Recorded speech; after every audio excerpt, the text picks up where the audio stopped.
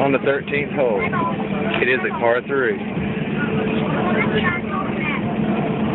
And she's up.